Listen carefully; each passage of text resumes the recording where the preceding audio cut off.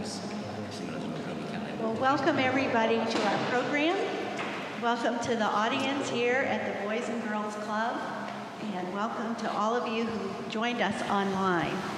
Um, I'm going to have another set of introductions in a minute to introduce all these people here with us today, but I wanted to tell you that we'll be monitoring this session as it's streamed live to our audience at home, and we'll also record it for our website archive on boomersinathens.org. After the presentation today, you may have questions. And the audience here in the, the Boys and Girls Club can simply raise their hands and we'll pass you this microphone. And that's important so that the people at home and on our recording can hear you. So talk right into the microphone if you would please. And those of you online can ask a question on the Q&A panel. And um, what you do is you look for the Q&A sign at the top of your um, window, or there's a question mark, and then you'll find a screen, and there's a little box at the bottom of that screen, and you type your question, and then you click send. And I'll be able to see your question, and at the appropriate time, we'll ask it for you. So thank you very much for joining us. All right, at this point, I want to uh, give the program over to Ron Wetherbee, who will introduce all these distinguished athletes that we have in the front of the room. Ron? Well, hello and thank you. And actually, we, uh, before we get started on uh, introducing all our, the rest of our panel, uh, I'll leave that up to our moderator, Mr. Hudson. Uh, I want to apologize for the absence of uh, Jesse Tuggle, uh, an unfortunate last minute change of plans, so he will not be here with us today. And we will get to the, uh, the rest of the panel shortly. Uh, first, we need to take care of some business. Uh, on your seats, there is a short survey that we would like you to fill out and hand in after the event. You'll receive a small token for filling that out. And uh, there will also be a short visual trivia after the event with uh, some prizes as well, so if you'll hang around for that. Uh, I would like to mention that this event is possible due to a grant from the U.S. Institute of Museum and Library Services benefiting the, uh, excuse me, Athens Regional Library System and the uh, Lyndon House Arts Center. Uh, for more information on the grant and what it is really used for, you can go to boomersinathens.org. I also want to thank the director of this grant, Madeline Darnell, and uh, she's been very instrumental in getting all of this stuff pulled together. I would also like to thank the Boys and Girls Club, uh, Mark Hatchett for the use of this fine facility, as well as Derek Floyd, who's Director of Operations, and especially my friend Sterling Gardner, who's here, uh, who uh, is the Resource Development Director here, and I have had the pleasure of working with him on other projects.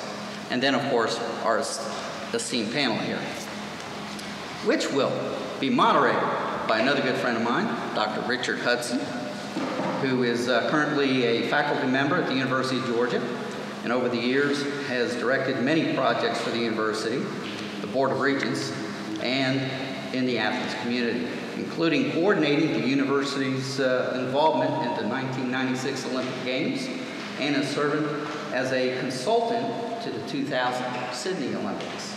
He's also a member of the Slippery Rock University Sports Hall of Fame for his involvement in baseball and the uh, Mercer County, Pennsylvania Sports Hall of Fame, and also received the 2010 Distinguished Alumni Award from his alma mater, Slippery Rock University. Excuse me again. Take it away, Dick. Thank you, Ron. a very kind introduction. Um, I played some sports growing up, but I have with me up here today uh, three gentlemen who really excelled. They were outstanding athletes. And each of them since then, because all of us in our youth never looked ahead and thought where we would end up being one day. There's no accent in baseball, or excuse me, in sports that says athletics builds character. We certainly believe that. More so, I think athletics reveals character, and that which has been revealed with these gentlemen over the years is really exemplary. So let me introduce each one of them. To my far right is James Banks. James was a graduate of Hoke Smith High School in Atlanta, a school that's no longer uh, there under that name. Uh, recruited by a number of Division I schools. He was a McDonald's All-American. He came to the university. He led the University of Georgia's 1983 to the Final Four uh, and was the MVP in the East Regional when his team, led by him, and what a leader he has been, uh, defeated Michael Jordan, uh, a name that I suspect we all know, uh, 82 to 77. In the last decade, he has been the head coach at Athens Academy here uh, in the um, Athens area. And uh, James, pleasure to have you with us. Thank you. To be To here. my immediate uh, right is Wayne Swinford. Wayne grew up in Anniston, or born in Anniston, Alabama, went to Munford High School there, came to the University of Georgia, uh, played here uh, in the uh, early 60s, and then played three years with the uh, uh, San Francisco 49ers, 1965, 66, 67, with such people as John Brodie and, and uh, John David Crow. Jack Christiansen was the coach. He has then since returned as a carpet company here uh, and is a real leader in our community. And uh, Wayne, pleasure having you with us too. And then to my immediate left uh, is Kent Lawrence. Kent uh, grew up uh, in the shadows of Clemson University, obviously saw a different light, came here to the University of Georgia after being recruited by schools all over, Tennessee, Oklahoma, and a number of schools. Uh, he came here as a running back. He was the 1967 MVP of the Cotton Bowl, uh, where he ran the ball 14 times, or 16 times for 149 yards. The second play of the game, ran 74 yards for a touchdown. He got, a law degree after that. He was a police officer at the University of Georgia campus. He became police chief in uh, Athens, Clark County, uh, later a prosecutor, then a judge. Uh, he was named the, um, make sure I have it right here, the state, um, get the right state, the chief, chief judge for the state court of Georgia in Clark County.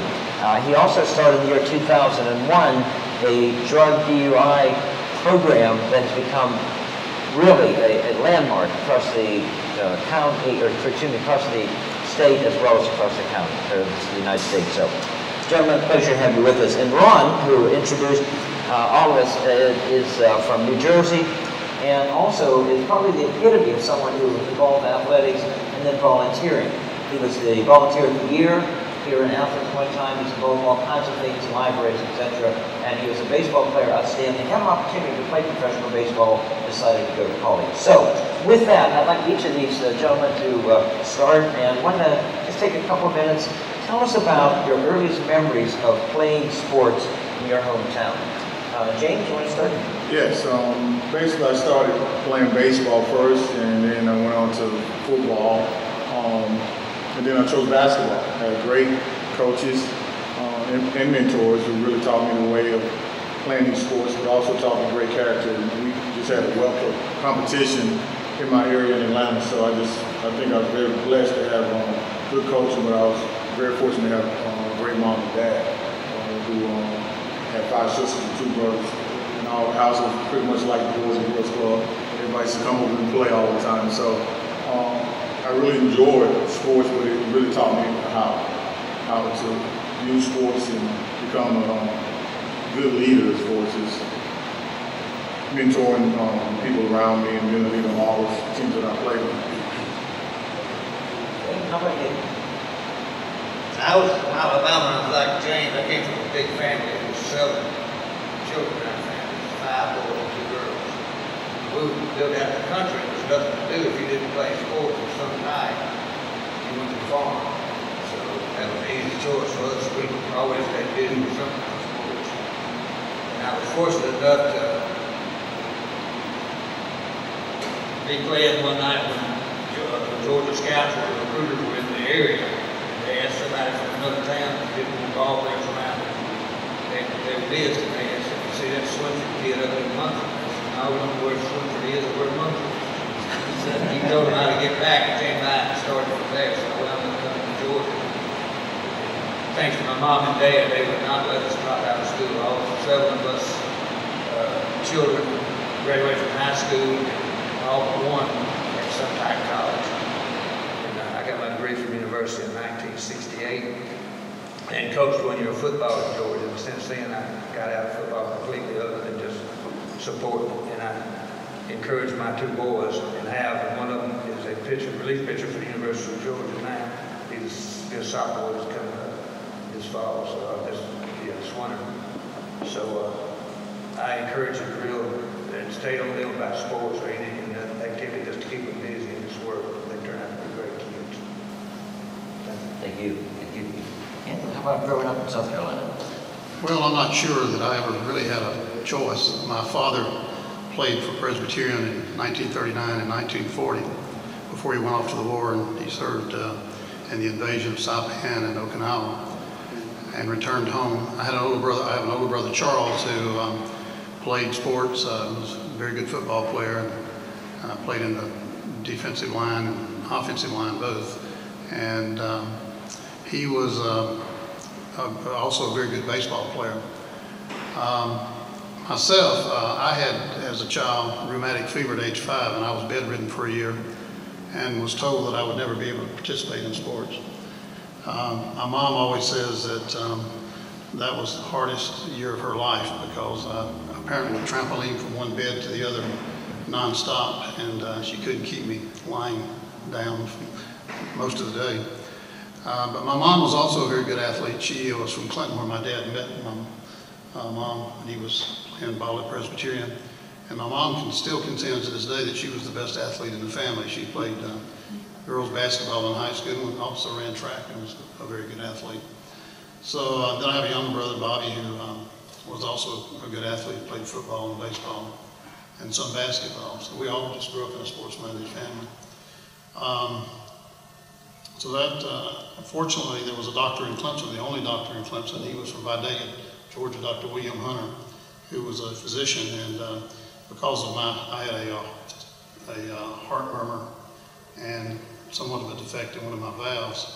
Um, there was an issue about whether I would be able to play sports. And so I was taken down to Dr. Hunter. Back in those days, if you were a doctor, would smoke pipes. And so he asked my parents, uh, you know, would I be able to play? And Dr. Hunter didn't really know the answer to that question at that point in time. But he said, you know, I don't know. And he said he's got a heart defect, but you know, it could be that if he plays, it would strengthen and, and dissipate over the years. He said the other sign is that it may not dissipate, it may become worse, and he could potentially die from it. And I'll never forget Dr. Hunter leaning back in his chair and taking a big puff of smoke as he was trying to think what he was going to say.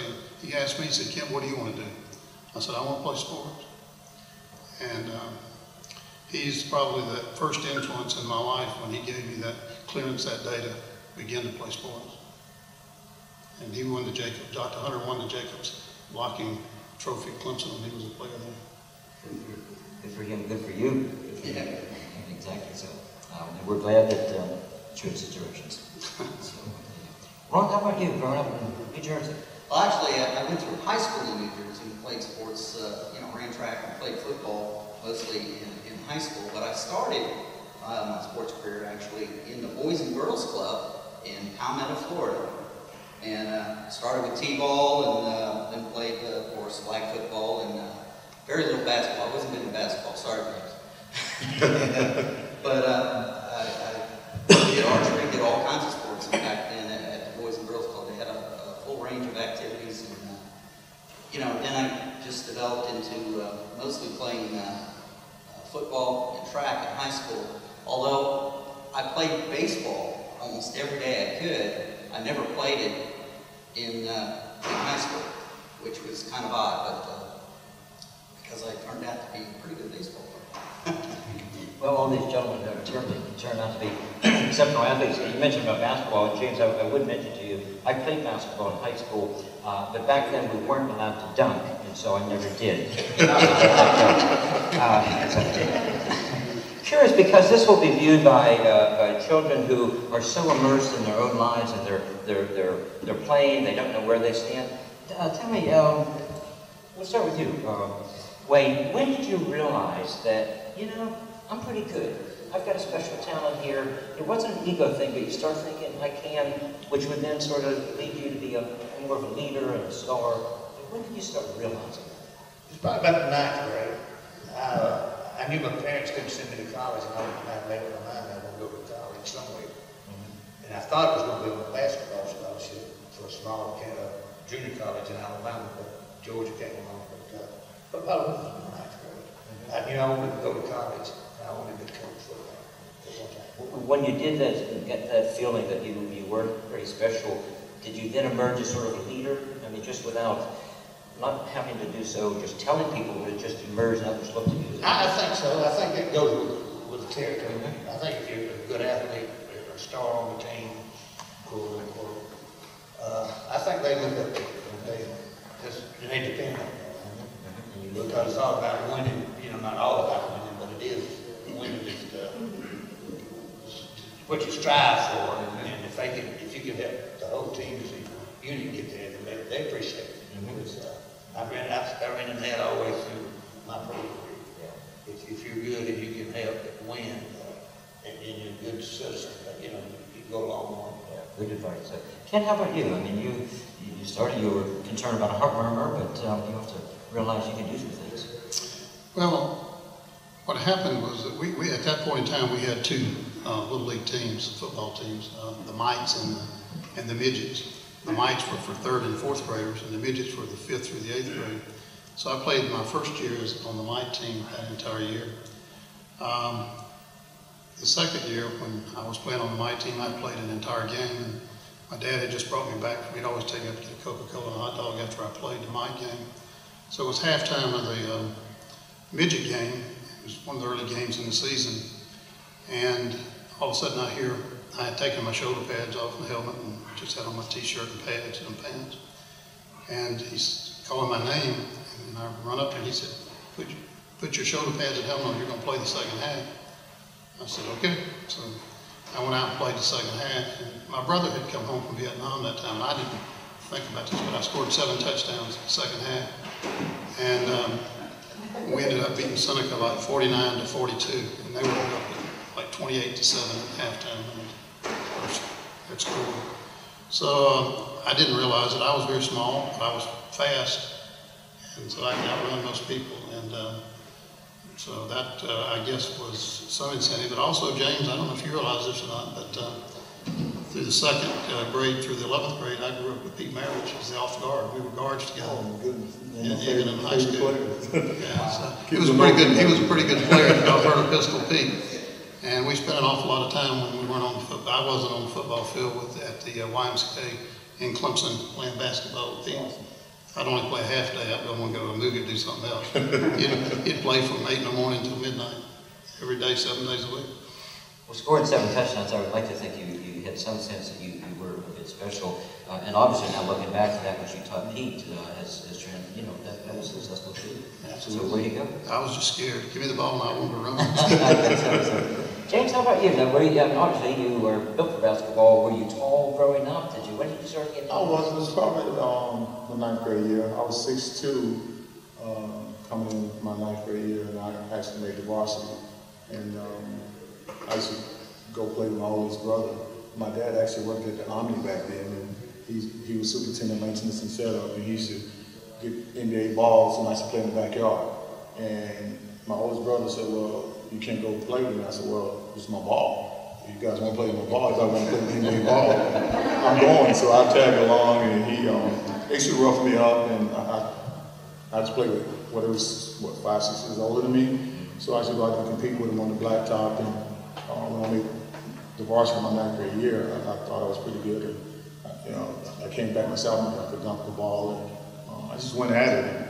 I thought I was pretty good, because I to play against guys my age, twelve or thirteen, I used to kind of dominate them. So that's when I really took an interest in it. And, also, my dad had a big role in that, because I used to play in the backyard all the time. He built a goal, had to put up, um, floodlights so I could play at night. And I always tell my wife the story, I'm used to eat my food cold because my mom used to call me in the house all the time. And we didn't have a microwave. She wasn't going to warm the microwave wasn't around back then, I don't think. But she wasn't going to warm the stove back up again. So oh, I said, "You eat food cold?" I said, "I'm used to it." But I used to play all the time. My dad, I never forget. I was, Dad, when when you gonna come see me play? He said, "When you get good enough." So he knew that was gonna motivate me to be the best that I can be. And from that day forward, um, he, he didn't miss a game after my sophomore year. Um, I lost him to lung cancer my junior year here at Georgia, but he did get, get a chance to see me play my last collegiate game when we played in Albuquerque in the Final Four. So that was a tremendous um, Well, well, Can I add one thing? Uh, Yes, please. One thing I recall is, uh, it was Pete's last year before he, he and his dad left Clemson to go to NC State. Um, we were playing Pickens High School in Pickens, and we're in the fourth quarter, and Pete fouled out with 19 points. We went into three overtimes, and I ended up with 20 points, and I never let him live it down, but I outscored him in one game. Live it down. So that's fun. I just finished up my tenth annual, um, basketball camp at Athens Academy. And, um, that's one of the most, uh, important trivia questions I always ask kids. Who's, who's famous, for, uh, who had a famous man called Pistol Pete? And it's amazing how some of them actually know who Pistol Pete was. He's my favorite player growing up. He actually played for the Hawks and I got a chance to see him play and he helped me with my ball handling and stuff like that, just watching him. So he, tremendous player. I still don't think he's a better ball handler around today, even in the NBA. So he, he was a pleasure to watch. Let me, uh, change the subject, let's go Yeah, ahead. go ahead. Ken said he just scored seven touchdowns. If I was a recruiter, I'd say, go get that boy. No doubt about it. And at one time, at one time, when uh, Georgia was recruiting Herschel Walker, and Steve Greer was out on his trail. And so I had bumped into Steve gassing up at the gas station. I said, where are you going? He said, going down to Wrightsville to see Herschel Walker. And I said, you know, that's what I don't understand about y'all over there in Georgia. Uh, Coach, he said, what's that? I said, now, I played softball with Herschel Walker three summers in a row. And I know him, his family, well, he's gonna go where I tell him to go. And I said, see, y'all even call us. Oh, that's advice. So he said, can you buy that for me today? I said, no, so he got to tell me, he said, well, they said his class C ball and he only gained ten thousand. I said, I don't care what kind of ball it is. If he can run that many yards, buy him sell. But if you got eleven guys chasing, sign him. I don't care. If he can go that many yards, he's good. So they're gonna. But it's, the- I finally told Steve that I didn't, but if he thought about it, to drive a hundred miles each way to play softball, I had to go and do it. Well, we're going to give you credit for bringing Herschel here. We greatly appreciate that. That It was a big, big difference. So, uh, but Jake, you started playing in ninth grade, right? You started uh, then. I started playing varsity. I actually started playing when I was 10, 11 years old. Yeah. Back then, everybody could play. It started the team. Exactly. We started playing. Um, it was wasn't a Y, it wasn't a YMCA, it wasn't a boys club. It was a rec center. Back then, we had a lot of recreation places that we could go play, and um, it was um, Stanton Recreation Center. And I had a coach there. I was very, very fortunate to have good coaching growing up because the competition was, was always fierce. If you weren't getting it done, there was always someone to step in your place. And they, that's the first thing they taught us, discipline and do things the right way. Took our shirts in, our jerseys in. So I, I grew up around some stiff competition, but once again, you had people who really cared about us as young men and building that character in Atlanta because there was a ton of talent around. They, they chose to take the guys who did things the right way, and yes sir and no sir, and actually had a good background of doing things the right way. And each generation does this. And, and for instance, in Athens here, we have Bishop Park, named after Julius Bishop, who was the mayor of Athens at one time. We have Lay Field after Tommy Lay, who was a just incredible director of recreation uh, here at one time. Uh, and often, you know, children are playing on fields named after people because they have no idea who these people were. So, uh, and, and so, and each of you said essentially the same thing. And parents made such a, a difference in your lives. Now that you've been parents or grandparents, you're doing the same kind of thing. And you've moved towards more volunteering work, uh, part of the, uh, the, the community. Ron, you're, again, you're such an epitome of, of working with libraries and volunteering the Olympics and the, the Atlanta Thrashers and Hawks and, and Falcons and on and on. How did you start getting involved with, with volunteering things? What, what drove you? And I want to ask these guys about that too. Well, actually, volunteering, uh, I started when I was real young.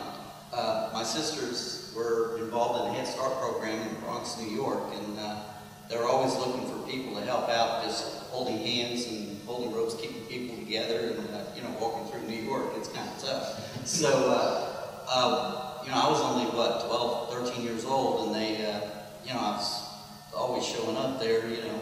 So they asked me if I'd volunteer during the summer programs and uh, going on field trips and just helping out and keeping kids together. Uh, so that's really how I got started. Then one of my sisters also, is here today, participated in the Special Olympics uh, uh, in the softball throw, so I got involved while I was in high school. Uh, and I got involved doing some work through there. And it's just been going on ever since. And it's just something that once you get the bug for it, uh, you know, giving back and doing things for other people and, and just helping out, it's just, uh, one of those things that just uh, makes you feel good and keeps you going. And you know, I've been now volunteering in all kinds of different uh, venues, not just sports venues and uh, other things, but uh, at homeless shelters. Uh, my wife and I, uh, you know, took about six months cooking meals for the homeless for uh, for uh, six months, uh, every once a week, and uh, doing things like that, just giving back to the community. Uh, and of course, I've been involved with the libraries. I've been involved with uh, you know all kinds of things. And right now, I'm running a, a nonprofit bookstore that every penny we make goes to support the uh, Winterville Library. So a lot of different things that I've been involved in over the years. And of course, I met you volunteering in the Olympics in '96. I did a lot of stuff during that. So. Well, you're one of those people that, that whatever comes up, you look for it. We, we greatly appreciate that. There's a, a saying, I think it's a Southern saying, that uh, can't uh, spread jam around without getting some on yourself. And so when you're involved in these things, it is a good feeling, and, and certainly we all realize that. Um, Richard, that was, uh, any, tell me about something that, you folks got involved in, how you did uh, get involved from it. You can't tell me you've done so much. Well, one of the things uh, with our five kids we were very involved with, uh, we had two cheerleaders and three boys that uh, played sports, and uh, we I coached uh, basketball and um, baseball for our boys growing up, and we were very active with cheerleaders, and uh, so we felt that was important to be supported. My parents were at every meet and every sporting event that I ever participated in if they could get there, and uh, I remember those days when my parents would have to drive to Ole Miss or, you know, long distances, and as soon as the game was over, we'd be flying out, and I'd look down, and it was always the saddest feeling that I would see those headlights and know that uh, one of those cars was driving back to Clemson, South Carolina, which was going to be about an eight or 10 hour drive, and I was going to be home in an hour or two. So that was always sad to me. But um, also, um, Carlene and I, my wife, Carlene, and uh, I uh, volunteered for Coach Yoculan and Suzanne Yoculan for 25 years and working with their program, including keeping live scoring at the events. And so that was special. Suzanne, as you know, was won 10 national championships, so it was a lot of fun working with her over the years. And um, the other thing, I've, I've been very active in my church. Uh, 2001, I became a Stephen minister, which is a ministry of lay people who uh, engage with other men, men uh, uh, engage other men in uh, crisis situations. It might be uh, someone going through a divorce or someone who's been injured or going through hospice care and things of that type nature. And so Carlene and I both are Stephen ministers and we've been very active in our church since 2001 in uh, uh, working with people who are in crisis situations and uh, it's been very meaningful to us. Well, good for you, and I can't never talk before. Of course, uh, as we all know, he, he's retired. He hasn't retired. He's changed directions, and these directions are much more ambitious than what he did even before in a great, successful career. So, uh, again, we commend you for, for all you're doing. So, gentlemen, how about what you? I was involved with the, I'm still am, to some extent, so the, the Little League for both my boys, they didn't play football. I played football, which I didn't care as long as they were involved with something, so they played, uh, the baseball and soccer. And one of them is still continuing his baseball so we stayed involved with that. And we're still involved with Clark Central High School. So so we do most of our time with baseball and soccer. Not much soccer now, because when they get a little bit older, you gotta give one of them. So they gave soccer and soccer, but still stick with baseball. Was an old baseball player, and the old part's more accurate than the baseball player. Um, I commend him for doing baseball instead of soccer. I'll let that go. James, how about you? I, do a lot of volunteer work. Um, mainly, um, I taught a year and a half at the Rutland Center, which is the Rutland Academy, and I formed a boys group down there to where if the kids behave on Friday, I could take them to different places like the mall and um, uh, over the bus, taking the bus meal building because some of these kids never get a chance to see a lot of different places because they're um, they're low income they're underprivileged. So um, just like I think it started in the church for me, just giving back. My mom, once again, like I said, our house was like a boys and girls club. It was always open. Uh, kids would just come in and ask for Kool-Aid and just come in the backyard because our house was open to anyone from the outside because back then that, that really went on. Everybody looked out for one another on the same block. Um, but I think it just comes from my mom and just the coaching that I had just, to just give back. I think it's our civic duty to give back because someone took out their time for us to go the extra mile, give, give to us, whether it's opening up a gym or allowing us to play on the field. So those type of things, it's just, I think it's natural, naturally comes for all of us who are sitting up here. Um, you look at Judge Lawrence, former judge, but he, he just do a lot of stuff for the community. Everybody here that had an impact because they was taught by their parents and by their coaches to do things the right way and to give back. We don't even think about it. We just go about our business and try to help out as much as we can.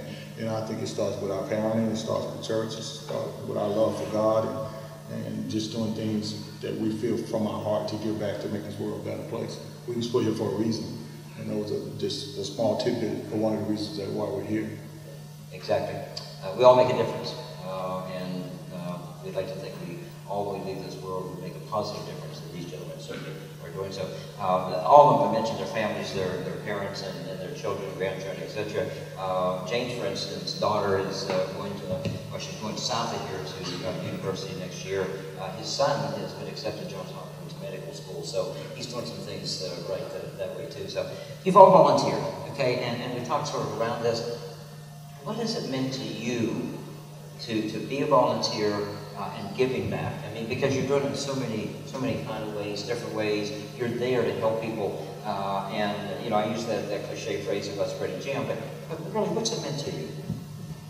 Ron? I'll just say that I remember uh, doing for the Special Olympics a few years ago. Uh, there was this young young child that I was uh, kind of mentoring a little bit, and of course I was coaching basketball. if You'd be proud to hear that, which uh, my limited basketball experience, but uh, it was a lot of fun. And I just remember what he could not hold the basketball. He had some motor function problems, and then I worked with him. I worked with him, and over a two-day period, he made a goal. And he just started yelling and screaming and crying and came over and gave me the biggest hug and he wouldn't let go. And he was so excited that after two days he finally scored. And it was just one of the, very touching moment for me. Just, you know, those are the kind of things that you work for, that you, you really do it for. And, and that kind of feeling, it's just, uh, it was incredible. Anybody else? sir? Well, in my 26 years as a trial judge, um, I saw a lot of different people and a lot of people with uh, a number of different issues in their life. Um, but I always have tried to be an encourager to others. Uh, I always, uh, every offender that ever appeared before me, I always tried to say something of a positive nature to try to encourage that person to think where they are in life. And, and I always tell as many people as I can, even in the courtroom, is that all of us are only as good as our next decision. And that decision can either be good or it can be bad. And so uh, I've always tried to, uh, myself, my, my dad was in law enforcement for almost 25 years and he had boundaries and I grew up in a family with boundaries and, and I always um, tried to uh, be an encourager to others. I tried to be a leader to some extent uh, for uh, individuals. Um, but uh, I know that our impaired driving court program, um, I've seen more lives uh, change from addiction to sobriety than I've ever dreamt possible. And our statistics show that on a national level. We're a National Academy Court program here locally, and we've been training teams from around the country here in Athens for the last, well, since 2006. For you. Wayne, what about you? What's this been for you? Uh, Children with handicaps, small children with handicaps, that's, that's my weak spot. I'd go real with that. If I say I can't stay around. uh, And I was telling, I was telling my wife not too long ago that the, uh, most of y'all might remember, I know y'all will, I don't know about the art. When Georgia, Georgia Tech played the Thanksgiving, Scottish Rites used to have fifty, sixty thousand people there for a freshman game, that's back in the sixties. When uh, freshmen couldn't play varsity ball, they had, they had their own schedule. Well, I may be the only man that got to play in the game, got to visit the hospital those years. I coached in the game, got to visit as a coach, and I had a son that we had arrested when he was five years old, found out he was diabetic. And his sugar was a hundred, a thousand or something, eleven hundred. Had to him with the Scottish Rites. I may be the only guy that's used Scottish Rites in three different ways. Got to visit with him. and, uh, And, uh, my son is at the University of Georgia now, he's in pre, pre-med. And he told me the other day, he must rub off on me, he but he knows I am that. He said, Dad, I think I know what I want to do. He wasn't sure what, part of medicine and stuff. That's what I said, this is handicap kids. He said, we had some over for a baseball game, and he said, he got to. And he, and another thing, he, uh, when he first, his first varsity game at the university, he didn't sign autograph this little. He didn't know, he didn't know, he was just a freshman, he didn't, he didn't know what the process was. He If he had to go get on the bus or something, and he said, that's home stand, this, and he said, I'll never do it again, he said, the coach just has to kick me off the team, he said, I'm gonna sign an autograph. So That's, that's where I, I mean, Good for you, like fondling something. Yeah. James? Uh, just the love for kids. Um, we don't realize the impact that we have on um, kids and communities. Um, I think it really dawned on me. My, I think it was my fifth year in France. We played, and I played in this one town, town uh, about an hour east of Luxembourg called Nancy, and and my wife was pregnant with my daughter at the time. And we was about in the process of changing teams, and she was actually seven months pregnant. She had to get a special permission from the doctor to get on the plane. But anyway, we was making a transition from that team to Caen, where we was going in the Normandy region. But upon us leaving this town, um, they knew we was signed a contract with this other team, and the team wanted to go in a different direction, and they would make some changes. Um, but the kids in that community, the flowers and the, and, and the people coming up to you crying and saying, telling you how much you meant to the community, it was, it was unbelievable, the impact that we had. And the same thing with teaching second through eighth grade uh, physical education classes at the academy. These kids grow up and 10 years from now, they come to you and tell you that one thing that you said to them made a big impact, like Mr. Lawrence just said, that changed their life. And that's when you know, we get your boss, you say, wow, it's really worth what we're doing because we don't think about it.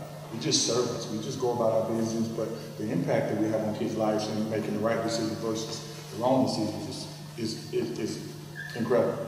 And just when you see them looking out and say, just um, at the end of my camp, kids come up to say, thank you for a great week of camp. We take it for granted sometimes because we just go about our business and try to help individuals. And, and from Monday to Friday, had two girls in camp, and both of the girls came up to me and said, I really enjoyed camp. I said, did you improve? They said, yeah, we improved from Monday to Friday. Now we're gonna go home and do our homework, and I tell them to do their homework. So that, that just sends chills down your spine and just makes you want to give back even more because it's, you know, Athens is such a great community. We make our home here. Now my wife is from here, my mom's from here, but there's no other place I'd rather be than Athens and just being with um, the people around here in the community because everybody's so supportive of the same goal, and that's to make Athens be a better place than it was before we got that makes it, when it's come up, somebody come up and tells you, that makes you think, what I'm doing is working. Absolutely. You know, so just do more of Yeah, it. just do more of it. Yes, yes. Absolutely, you're absolutely right. So very well said. So, very- and, and you do make a difference as a community. We're, we're so glad that, that you're here. Do you have any uh, uh, general advice that you would offer to uh, those in the audience, those who will see this later, uh, as far as how they can get more involved? Uh, um, you know, I- I'm one of these, uh, and we all believe this, I think, that, that individuals and societies, in large part, should be judged on how they treat the innocent, the elderly, the young, the disabled, animals. And you guys are very sensitive to those kind of things. Any advice that you would you would make as we sort of wind uh, start moving toward the, the end of this today and get some questions from the audience and online? Any advice that you would offer to, to get involved uh, in this world? Well, it's been ironic, I've been sitting here this entire time looking at this roll of tape. Uh, Playing football, I had 17 fractures over the years, so uh, I'm still walking, so uh, I never had any major surgeries other than my elbow, got a bone sticking out here and here when I was in third grade. But, uh, you know, I, I think that uh, I would encourage persons, whether you're involved in sports or, or other recreational activities or, or, or life sports, you know, just, so so important to get involved with others. You form relationships that sometimes are uh, lifetime lasting in nature. I know in sports, uh, Swine, I think Wayne would say the same thing, and James would say the same thing I'm going to say, is that we form bonds by uh, playing with other individuals that are lifelong. And, uh, you know, I still see Billy Payne and all the other players that I played with uh, over the years, and I'm 65 years of age now, and uh, gosh, it seems like just yesterday we were playing. The time passes pretty quickly, and so I would encourage uh, those of you who are here, if you have children, to encourage them and, and try to be a positive role model for them so that um, they follow in your footsteps and become um, for role models for others because that's so important. I think if you just, uh, pick out the area that you like most, I think you might enjoy working with kids. I think you know, that's future, that's our future, so you gotta get them on the right road, and it's tough to kids. I wouldn't want to be one. I don't want to have any more. My youngest is twenty, and that's, uh, you know, don't want him to have to come through. What, uh, what's that there today? And I tell mine all the time, I said, boy, there's a lot of stuff out there. Stuff y'all do now. What we did when we was growing up, we'd get promoted within the church, but there's nothing to it. What we did, and uh, as compared to what's out there now. But just pick out an area that you think you might be happy in helping somebody.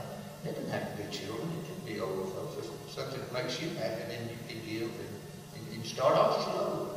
Give as much as, uh, as little as you can, if that's what, you- you can't give much, then you- you- I think you'll get a blessing out of doing that. It's a great point, Mrs. Smith. I think you give back, um, talk to your pastor at church, or if you have a church, just talk to someone you believe in. Just do something you enjoy. Um, just follow your heart and just pray on it, and God leads you in the right direction. Um, just it's one of those things that's just reciprocal. Once you start doing things for someone, someone starts doing things for you, you'll find your passion or whatever you may be doing.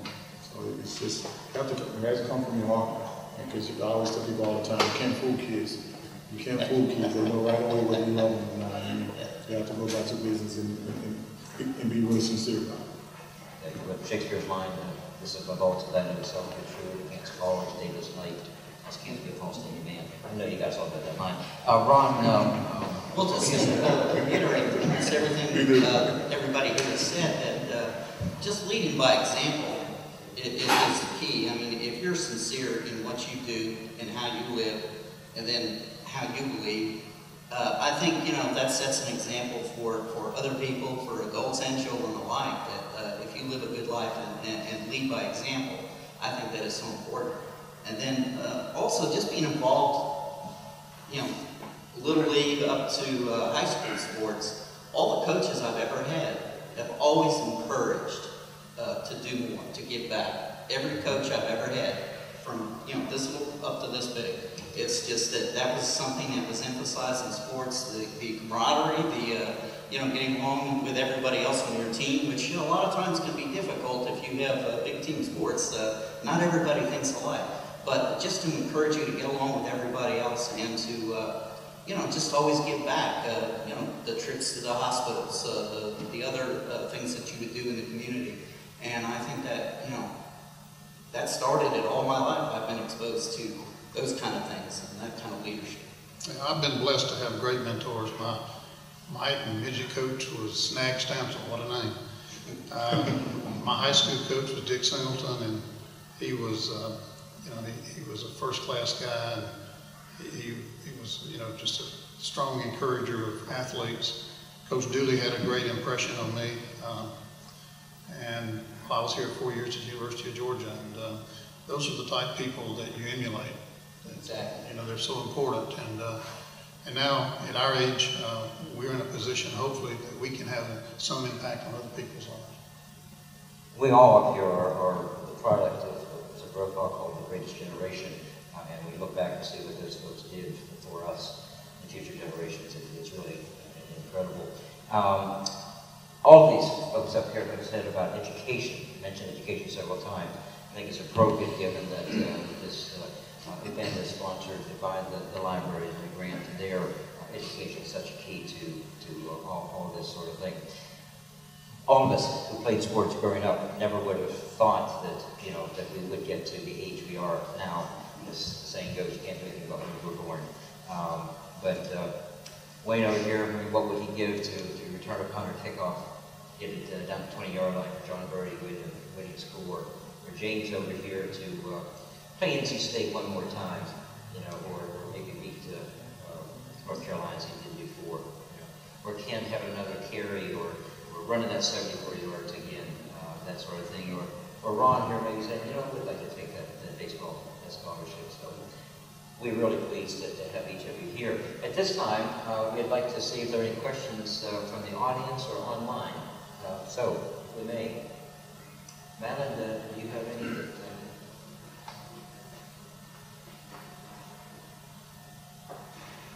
We have, we have two uh, visitors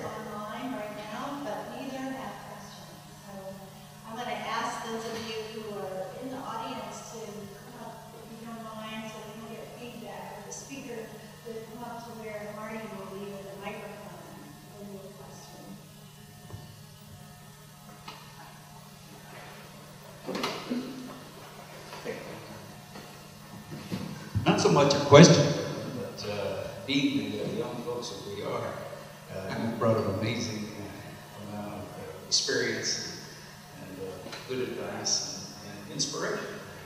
Uh, I don't know all of you, but uh, or didn't before, like I do. Uh, I just want to say thank you to, for for what you've done and for being here, Sherry. Thank you.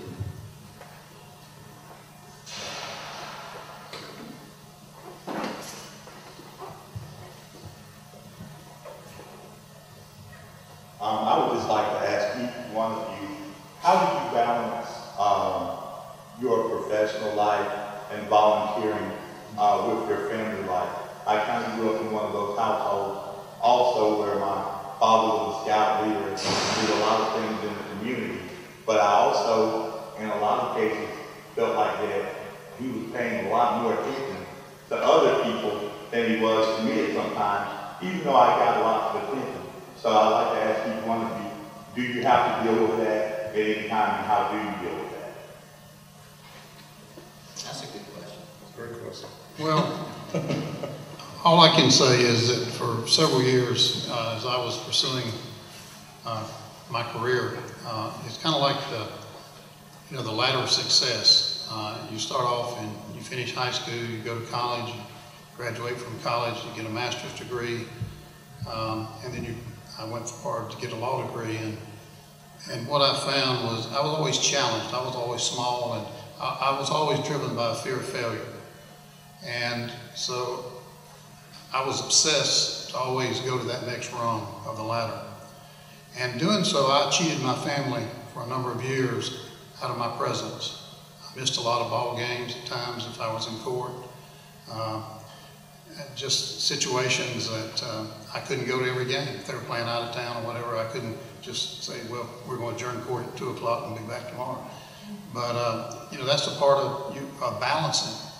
But it's very important. Uh, not only is education important, but it's so important to recognize that you are a parent and that you have responsibility to your children first and foremost. And so for the last number of years, as I have gotten closer to the end of my career, I have tried to be a better father, a better husband, uh, to uh, be more attentive to my children, to spend more time with each of them. And thank goodness our last of our five children is getting married uh, next Saturday. and uh, so uh, we, we've been very blessed. That'll be all five are now married and happily married. And we'll have, we have five grandchildren now and we have two twins on the way at the end of October. So we'll be blessed with seven grandchildren in another um, two or three months. So, uh, but it's, it's not always easy. You just have to carve out time because that time is, uh, is very valuable, not only to us, those people that are maybe career driven, but it's, it's hugely important uh, to, to your children. When, uh, when I got through playing ball and I wanted to be a coach, I appreciate Coach Dooley was uh, an influence on my life at that time. I wanted to coach, Coach Dooley gave me an opportunity to coach at the University of Georgia. And then I found out I didn't like it. But he told me, here's what he told me. He said, Wayne, I'm gonna offer you a job. I seen a lot of kids in your position that want to coach. I'm gonna give you a job coaching. At the end of the year, in January, we'll pay your way out to Los Angeles National Coaches Convention. That's where all the jobs are found in January. So uh, I coached and went out there, and I went to the University of Richmond, called, and I went up there to visit him, go visit four days. And it always weighed on my mind that college coaching was never home. And I had a daughter. So I went into Coach Frank Jones's office, and I told him, I said, Coach, I appreciate you having me up here, but I said, I want to go home, I don't want to coach. And he and he told somebody later, so I left and went back to, uh, Athens, came back to Athens and turned down the coaching job. And he never really offered it to me, but I talked to a friend of mine later that, uh, knew him real well. He said he wanted to hire you, but after came in, told him that. So I was aware of that. I've been fortunate. And then all my little league and high school ball, both the boys had no trouble. I included them in things I did, they go, they want to go to ball. So that's the thing you may want to look at. Can you get your kids involved? It's something that you like and they like. And that helped a lot. Even when I established my business thirty-five years ago, here in Athens. I told my wife, we go to a retail store, and I said, we're not gonna open on Saturday. I'm gonna leave Saturday for my boys, if I have any boys, to play ball. So if people come on Saturday, if you're open one Saturday, and not the next Saturday, they gonna quit coming. But if they come this Saturday, you close, they come next Saturday, they say, well, it's closed on Saturday. They'll accept that, and that's, that's worked out great for us. So that's, a lot of other things you do, but you just have to think about it. It's, but it is a problem, it could be a problem. But I was fortunate enough that, my boys and my children were involved, so that, uh, it wasn't a problem for me. I think you have to keep them involved. Um, just like you just alluded to, um, my wife and daughter comes to all the games on the road. I don't like come all the time, but, um, we go have to do homework or what have you. But, um, keep them involved. It has to be important to you. I'm pretty sure it's important to everybody who's up here. You make that effort. It's tough when you're trying to balance things out all the time, but you have to make time, um, for the important moments and just the quality times. Always try to be there for Christmas, things like that. But your scheduling sometimes is going not permit you to be there, but when you are with your kids and, um, and we just, I think we're all fortunate, we, we got, all of us have to have great wives. Someone behind us because, um, they have to put up with you being gone all the time and you being there. And so I think it's very important to keep them involved and have that open line of communication, and that's huge, so. And trust, and trust, and just being them, so, it's, it's not easy, but it, it is tough. It has been important to, my wife always said, we always wanted to be involved and not miss anything, but it hasn't been important to you, but unfortunately, sometimes you're not gonna be able to be there, but I think we kind of get used to it and just allow you to be who you are and support you. Well said, gentlemen. The, um, um, all of us are, are very uh, fortunate to have the wives that we have. When I introduced my wife friend uh, used a football phrase and said, "It looks like uh, you outpunted your coverage." uh, so that they go with that. Uh, so as we as we wind down here, first of all, I need more questions from the audience or online. Hey, um, no questions online. Okay, okay. Uh, I- I'd like to, one maybe a final question up here as we move, uh, and then the final comments. Um, Each of you mentioned, you know, your parents and everything. Is there one person that, growing up, was really, you mentioned one, uh, that was a a real mentor to you, and why? What did you see in that person that you said, yeah, that's, I want to be like that? You, you, uh, uh, you can't, because you mentioned uh, the fellow, Max, I think you said. Uh, um, Was it, was it? I'm not sure. You, you mentioned a fellow growing up that you looked up to. Uh, He had a lot of names, he said, appropriate name. Well, I guess the, other than my parents, the persons that had the greatest impact on my life were my high school coach, Dick Singleton, Coach Dooley, my college coach.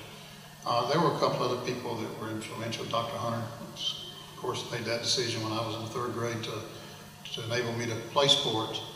Um, and then um, I would say there was another person that um, uh, Creepy Carson, who was the owner of the big concrete company there in Clemson Central area. And he started me working when I was in eighth grade at 75 cents an hour. And uh, it was hard work from seven in the morning till seven at dark. And um, uh, it taught me a good lesson, and that was to stay in school. I didn't want to push concrete for the rest of my life and mix concrete for the rest of my life. So uh, he was a great supporter of mine, even though he was a huge Clemson fan and wanted me to go to Clemson. Um, I, I just uh, felt comfortable coming to Athens. Um, Coach Dooley was here, and as you know, Coach Russell was here, and he had a great coaching staff, and it was only 82 miles from, from Clemson to here. And once I came, uh, Athens really became a second home to me. Uh, it just was a place, uh, I said, wow, why would I ever want to leave here? And, um, know, I haven't contributed a lot to the community, but I've, I've tried to be committed to the community in a lot of different ways. And uh, I think the biggest blessing I have now is that I've had a number of people graduate from our impaired driving court program, our drug court program, and they send me a request for references for employment. And I've had an opportunity to write many, many letters uh, of reference. Uh, one young man was an African-American male, uh, went to Florida and could not get admitted to the bar when he finished law school, and I wrote a the Supreme Court there, which had an impact on his admission to the bar. He, today, he's a, a defense attorney uh, representing offenders who are charged with drug crimes.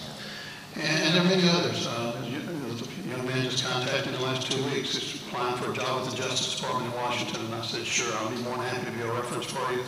You've earned it, and uh, that's why I'm here, here to support you and hopefully get you employed. Well, all those comments are uh, indicative of who you are when you're saying you haven't done much is an extremely humble statement. You've done incredible for the mouse. So, how? Anybody in particular you looked up to as, a, yeah, that's, wow. Other than my, my mother and dad, my parents, because they were, and, uh, especially my mom, my dad was away working a lot, and my mom would go pick cotton and take her youngest brother to the cotton field where it took all day, we'd get off the school bus and take it to dark, so. And she definitely was not gonna let us drop out of high school, that was the big thing then, if you got a high school diploma.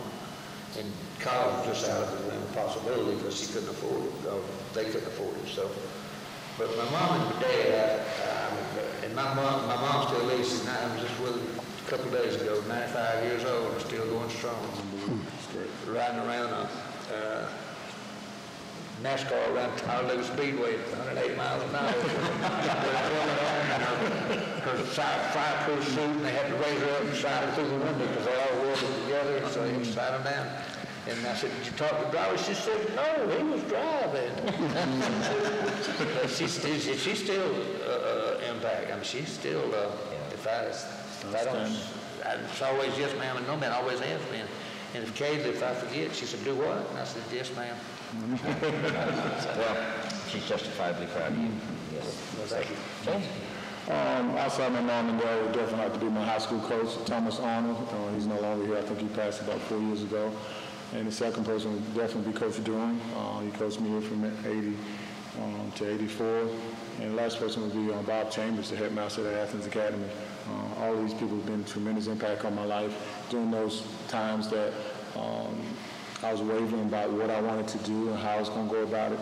And they're, they're sincere, just like Judge Lawrence said, that they say that some people say, well, if, if I can do anything for you, let me know. But these three people have always been there, and they say, if I can do anything for you, they were there always. In the tough times, in the good times, and helped shape and mold me uh, into the man that I am today. And I'm proud. And those are the people you always got to look back and say, well, um, I'm representing them as well as myself. Well said, well said. Well, thank you, gentlemen. Oh, Ron, I want to, you to have some Well, I closing have a comment of someone who influenced my life. Well, I'd like to have first use and then closing comment, please. I remember my uh, freshman football coach, Walter Higgs, said that, you know, and the team concept only works if the individual player does his part well within that team concept. And he focused on, got us to focus on our individual parts, on ourselves as individuals to make the group better. And he always emphasized that you need to do, work within yourself, do everything that you can for yourself to improve. And those kind of things, and not just on the field, but it was just, uh, you know, as an individual uh, human being. And that's always stayed with me for, you know, Good advice. through my life. Yeah. There's a, there's a, uh, we've all seen the, uh, maybe the movie or the play Camelot came from the, the T.H. White book, The Once and Future King. At the end of it, when King Arthur, and everything is bad, a young boy comes to him and they're talking, and King Arthur says to him at one point, we're all but drops of sea, or drops of, water in the sea, but some of us sparkle. These gentlemen sparkle, and they've made a difference in this, this uh, life. Uh, Madeline, uh, from closing comments. Well, I want to given us not only a lot of fun as sports fans, but you still keep giving to our community to make it such a good place to live. And we thank you all. And we thank you all for coming today to share all this. And I also wanted to thank Sterling Gardner and his friend Terrence for setting up the Boys and Girls Club for us today. And it's certainly a beautiful facility. And talk about good education. I have a feeling a lot of good education goes on here after school. Um, and thank you again, Ron Wetherbee, for lining up all these distinguished sports people. And it was very interesting. Um, I want to remind the audience that we would very much like you to fill out the questionnaire. And we have one online person still with us, and I'm going to give you a poll in a few minutes to answer, and then you can send it back electronically to us. Uh, everyone, I invite you to visit our website, boomersinathens.org. Whether you are a boomer or not, our programs are really to benefit the entire community. But there are a lot of interesting programs like this, but just all kinds of subjects, and they're all unique in that people from our community have arranged to give a program about something that interested them or some information they think might be really important for boomers to know. So check it out.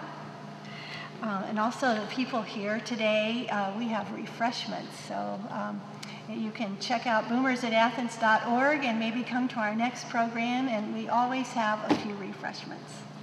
So thank you again, everybody, for coming.